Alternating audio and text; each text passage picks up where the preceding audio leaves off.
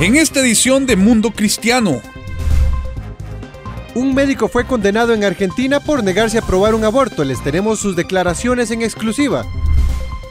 Luego de la muerte de Julio Melgar, su hijo Lawson lanzó oficialmente su canción Cuerdas de Amor. Le tenemos todos los detalles. Un tribunal en Francia le salvó la vida a un hombre tetrapléjico que su esposa y hermanos quieren desconectar. Sus padres luchan para darle más posibilidades de vivir.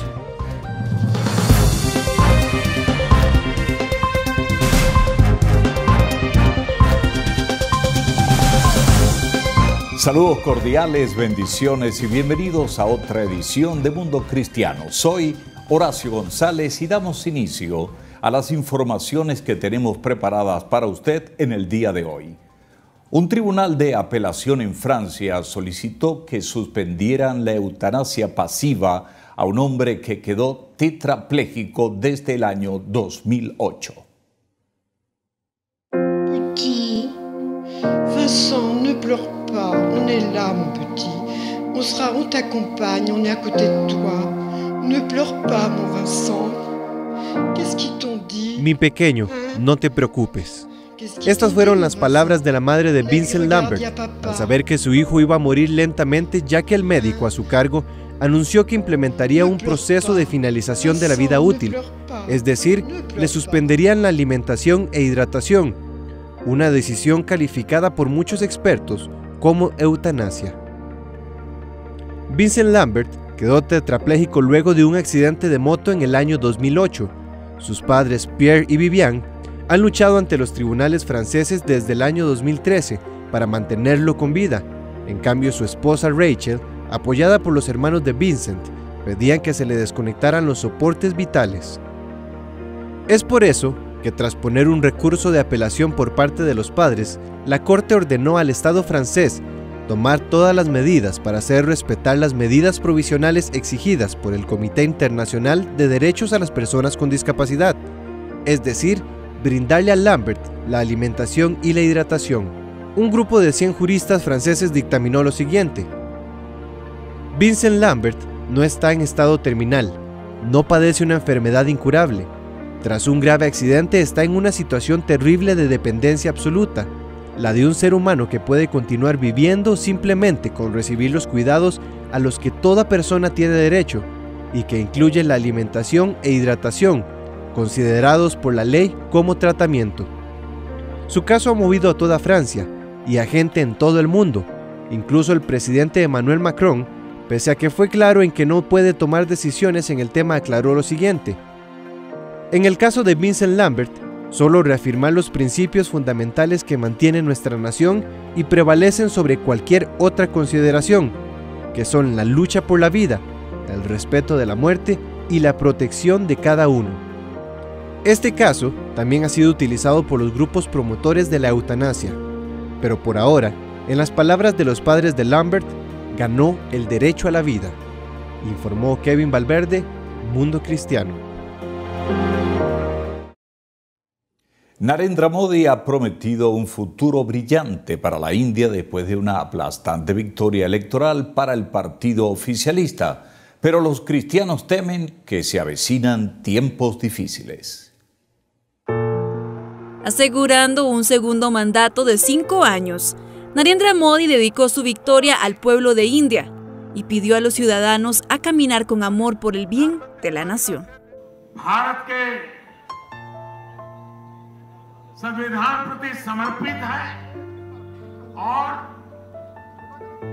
Lo que sucedió en estas elecciones y cómo sucedió, ¿quién dijo que todo esto es pasado para mí? Tenemos que mirar hacia adelante. Tenemos que tomar a todos juntos y caminar. Incluso las personas que se oponen a nosotros los llevaremos adelante con nosotros. Tenemos que trabajar para el beneficio de este país. Mientras Modi y sus partidarios pueden estar celebrando, los cristianos han recibido las noticias de su victoria con preocupación, diciendo que temen una mayor marginación. Los líderes de la iglesia local dijeron a los contactos de Puertas Abiertas que su trabajo solo se ha vuelto más desafiante bajo el gobierno del BJP y que habían esperado que un nuevo gobierno llegara al poder para poder disfrutar de más libertad. Un líder de la iglesia cuyo nombre no ha sido revelado por razones de seguridad. Espera un aumento en la violencia contra los cristianos y dijo que será difícil para las iglesias funcionar porque habrá más violencia contra los creyentes.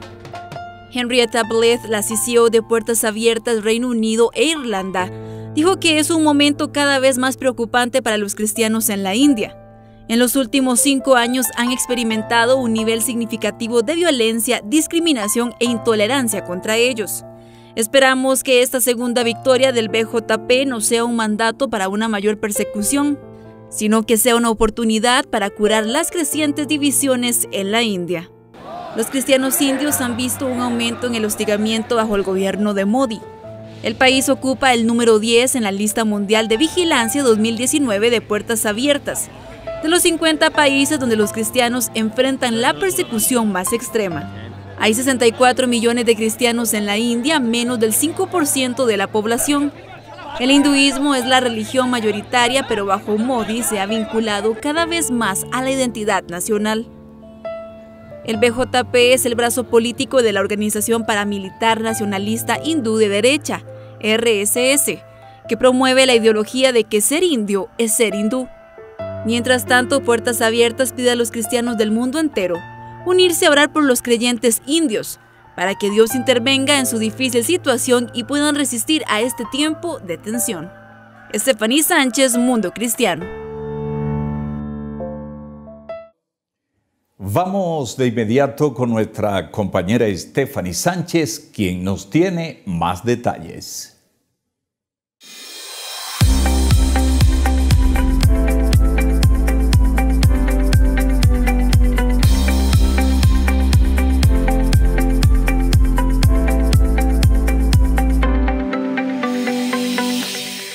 Gracias Horacio, damos inicio de inmediato a las noticias más destacadas de la iglesia alrededor del mundo. El evangelista Franklin Graham envió un correo electrónico y publicó un mensaje a sus seguidores de las redes sociales, pidiéndoles que oren por el presidente Donald Trump el próximo 2 de junio. En su publicación de Facebook, Graham escribió, los enemigos de Trump continúan intentando destruirlo a él, a su familia y a la presidencia. En la historia de nuestro país, ningún presidente ha sido atacado como él. Creo que la única esperanza para él y para esta nación es Dios. Este es un momento crítico para Estados Unidos. Estamos al borde de un precipicio, continuó diciendo Graham. El tiempo es corto, necesitamos orar para que Dios intervenga. Necesitamos pedirle a Dios que proteja, fortalezca, aliente y guíe al presidente. Este próximo 2 de junio muchas iglesias en Estados Unidos estarán unidas en oración. Nuevamente, activistas del conocido pañolazo verde en Argentina hacen el esfuerzo para legalizar los abortos en este país. Los legisladores dijeron que presentarán un proyecto de ley para legalizar el aborto para embarazos de hasta 14 semanas. Una medida similar el año pasado fue aprobada por la Cámara Baja del Congreso, pero fue derrotada en el Senado por una fuerte oposición de organizaciones religiosas. Las manifestantes advirtieron que si la aprobación de la ley no sucede, harán valer el poder de su voto en las elecciones generales de octubre. Las campañas, los temas que dividen no son los que son más atractivos para los candidatos, pero cuando, como te decía antes, cuando hay un tema que eh, ya ha penetrado tanto en el interés público, es inevitable que aparezca aunque alguien no lo quiera tocar en la campaña. Me parece que esto ya está instalado en la sociedad argentina. Y esto es todo, Horacio. Continúe con más información. Gracias, Stephanie. Recuerde que nuestra página web está siempre actualizada con todas las noticias cristianas. Búsquenos en www.mundocristiano.tv. Hacemos una pausa y ya regresamos con mucha más información. Al volver. Un médico en Argentina fue condenado por no practicar un aborto a una mujer y salvar la vida de su niño. Conversamos en exclusiva con él al volver de la pausa.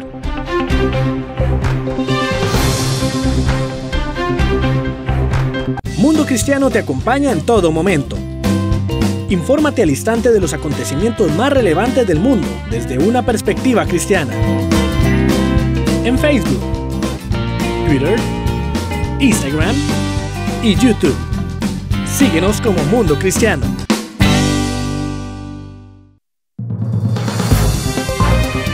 Gracias por continuar con nosotros. Haber salvado la vida de una mujer y la de su hijo le costó una condena de dos años de cárcel a un médico y la inhabilitación de su cargo. Este tema ha causado revuelo en Argentina y conversamos con el doctor en exclusiva. Veamos la información.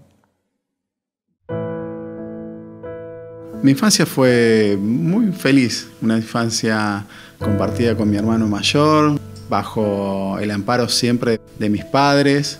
Todo giraba alrededor de la, de, la familia, de la importancia eh, de, esa, de esa imagen familiar. Y me dice que va a estudiar medicina. Y bueno, mira, tu padre no es Rockefeller, le dije. No, no, no, viejo, dice, vos no te hagas problema. Y dice, yo, yo me voy a encargar. Él trabajó siempre para poder costearse los estudios. Lo que uno recibe de aquella persona a quien le estás brindando o le intentás brindar todo su, todos tus conocimientos eh, para, para, mejorar su salud, es, eh, es, eso lo que me llevó básicamente a, a elegir ginecología como especialidad. Leandro Rodríguez Lastra es un médico con vocación sabe que estudió para salvar vidas. Sin embargo, una situación en la guardia del hospital cambió su rutina y el resto de sus días. Aquel día fue, eh, era una guardia como cualquier otra, era una guardia en la que uno está siempre eh, al pie del cañón para lo que, para lo que reciba, hasta que recibo a esta paciente y fue, eh, fue un quiebre muy importante. Tenía mucho miedo por los dos lados. Tenía mucho miedo por la salud de la madre, tenía mucho miedo por la salud del niño. Fue un contexto muy, muy difícil. Leandro, junto a un equipo de profesionales, deciden que la mejor opción es ayudar a la joven a continuar con su embarazo a pesar de su deseo de abortar. Todos coincidieron que era lo mejor para la salud de ella y el bebé. Todo sucedía rápidamente en el 2017. A fines de ese año eh, me vi en una comisaría eh, dejando mis huellas digitales como, como uno configura un delincuente, ¿no? un asesino, para luego aumentar todo, toda, esta, toda esta pesadilla que, que, fue transcurriendo. Entonces en ese contexto veía esto como, como algo ridículo, como un, como algo que no tenía ningún sentido y que debía forzosamente extinguirse por su propio peso. O sea que de la chica no recibió ni una denuncia. No, no, no, no, la chica no, no presentó denuncia, su familia tampoco. Eh, hablamos mucho con la familia, hablamos mucho con ella. Digo, no solamente yo, hablo en plural porque eh, tiene que quedar en claro que yo protagonicé aquella guardia, pero había todo un grupo de gente que estaba eh, cuidando de esa, de esa paciente. En sus momentos de, bajón anímico sí exigía que se realice un procedimiento que, insisto, no se podía hacer. Hasta el Ministerio de Salud de Río Negro se expidió en ese mismo sentido. Así que eh, fue, esos momentos eran muy dolorosos para todos. Cuando Leandro me, cuenta lo que había pasado, primero me sorprendí, no pensé que esto iba a llegar a donde llegó, porque es una locura pensar que un médico que actúa y que le salva la vida a una paciente eh, y le salva la vida a un bebé, o sea, no, la verdad que yo no lo podía creer. En ese momento lo que sentí, em, primero bronca y después mucha tristeza. El temor más grande era que lo condenaran. Lo único que ahora espero es que, bueno, que no, que no, no, se afirme la condena. En medio de todo el proceso, Rosana queda embarazada y esa noticia renovó la alegría en toda la familia. Vinieron los estudios y, me dijo, quedamos los dos bastante sorprendidos. Eh, me acuerdo que nos abrazamos y nos pusimos a llorar porque realmente era, eh, fue inesperado. Eh, fue clave para, nosotros, para vivir esta experiencia dolorosa en el, contexto de una, situación de, felicidad, de una circunstancia de felicidad única en la vida de una persona como es eh, ser padre. Me sentí acompañada eh, por mi familia, eh, mi mamá, la familia de Leandro. fueron como los pilares para poder sostener toda esta situación. Y después mucha gente que se fue sumando. Los momentos de debilidad. Eh, me los reservo para las personas que quiero y las personas que me van a levantar, no para las personas que me van a seguir golpeando. Creo que los tres estamos muy fuertes, principalmente con, el gordo, que es eh, lo primero y fundamental, lo, lo que nos mantiene. Eh, estamos, estamos fuertes tratando de sobreponernos de lo que pasó, siempre para adelante, eso sí, siempre. Las agallas que tiene el tipo. Él es un, un tipo fuerte. Apenas el caso tomó estado público, muchas ONGs defensoras de la vida y varias iglesias cristianas organizaron marchas de apoyo a la familia. El apoyo fue muy grande desde un primer momento y se valoran muchísimo. Fue un grupito de gente que en principio se, se me presentó en la puerta de las audiencias y me brindaba su apoyo y me saludaba. Eh, y después ese grupo aumentó y después se presentaron con carteles. Y, el día previo al veredicto fueron cuadras y cuadras de, gente con carteles, con cánticos. Eh, fue una fiesta, fue una fiesta real, una fiesta donde eh, había alegría, donde había la alegría de saber que todos estábamos ahí por lo mismo, todos estábamos por la defensa de la vida. El amor de aquel que no te conoce, el amor de quien se te acerca para eh, brindarte su apoyo y con quien tenés eso en común y que es muchísimo, es muy poderoso. Hay un par de instancias más además de la apelación, mientras se aferra a su familia pensando en la importancia de salvar las dos vidas. Desde Argentina, para Mundo Cristiano, Judith Coe.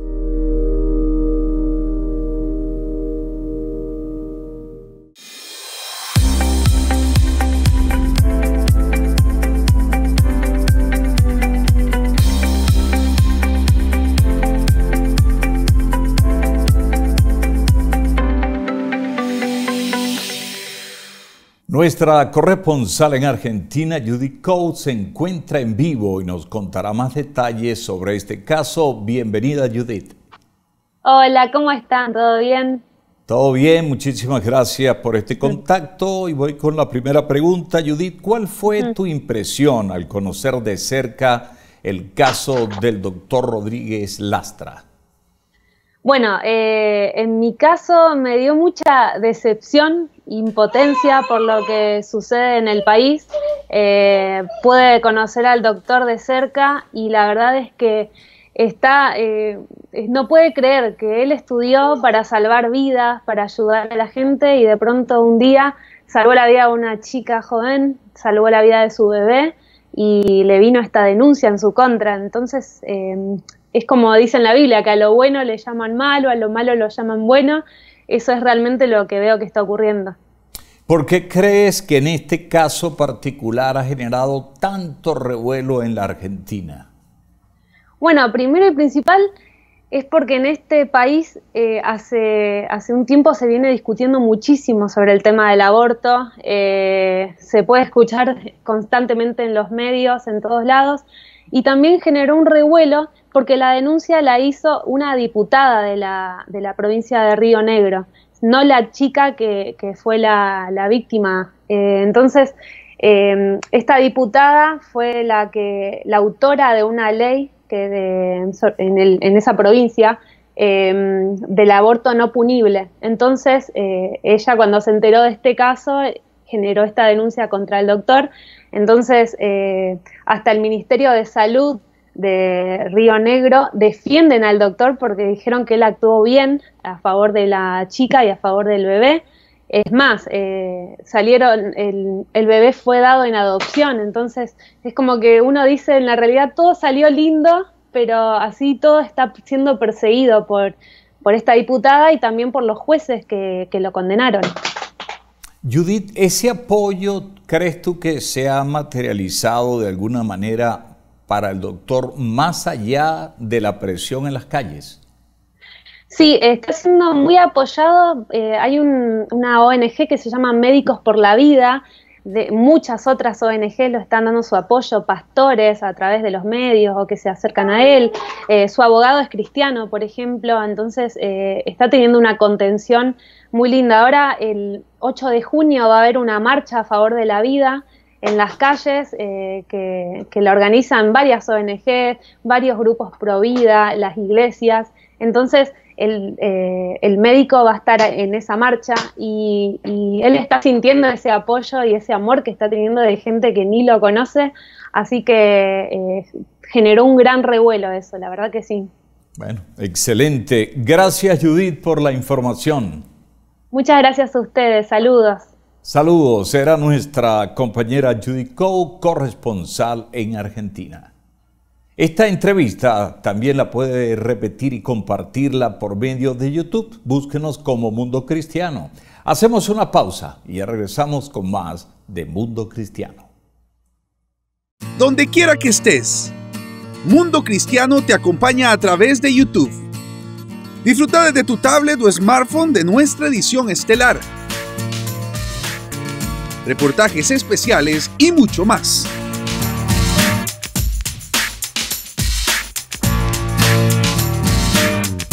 Búscanos como Mundo Cristiano y suscríbete, porque aquí también te contamos el resto de la historia. Gracias por continuar con nosotros. Vamos de inmediato con Stephanie Sánchez para que nos brinde más detalles de los últimos acontecimientos con la iglesia en el mundo. Gracias Horacio, vamos de inmediato con los hechos que son noticia alrededor del mundo.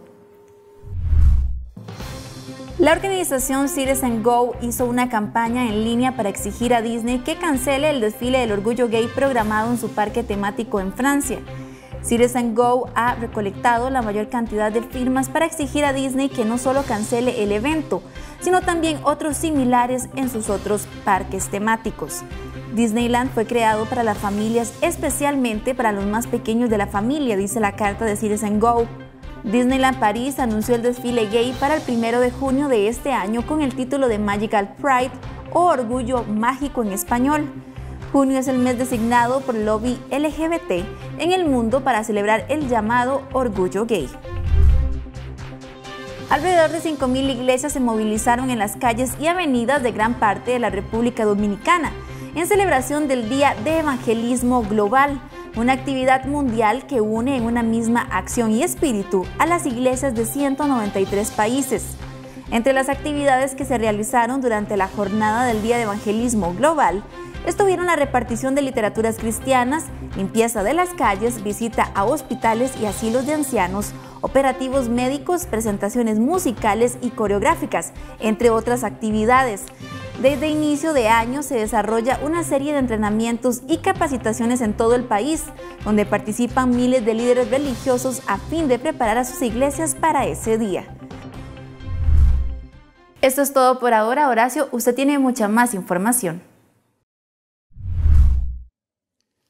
Definitivamente Julio Melgar ha sido uno de los adoradores más influyentes para la iglesia en los últimos tiempos. Ahora, tras su muerte, su hijo Lawson se prepara para continuar su legado con su nuevo lanzamiento, Cuerdas de Amor. Antes de morir, Dios ya le había confirmado a Julio Melgar que la adoración en su casa no se iba a detener, aun cuando él ya no pudiera cantar.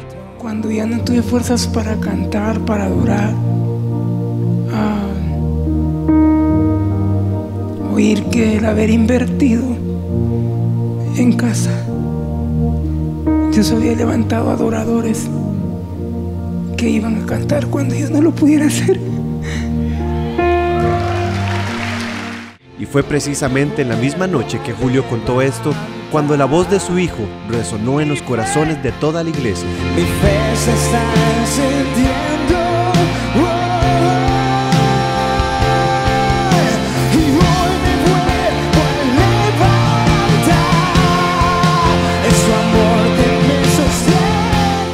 Ahora ha iniciado su camino alabando y adorando a Dios en las jornadas de Noches de Gloria, junto con el pastor Cash Luna, tal y como lo hizo su padre.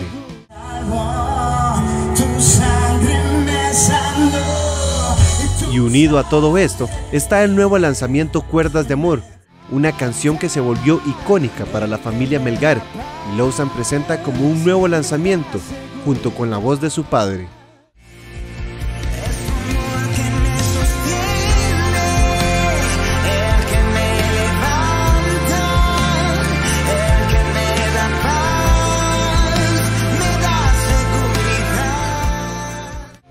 Una canción que le recuerda a la iglesia que ahí está la herencia de un gran ministerio, informó Kevin Valverde, Mundo Cristiano.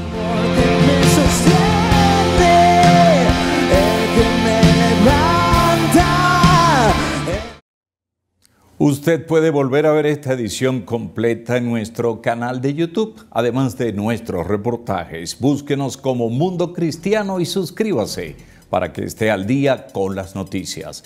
La próxima semana les traeremos mucha más información. Bendiciones y hasta entonces.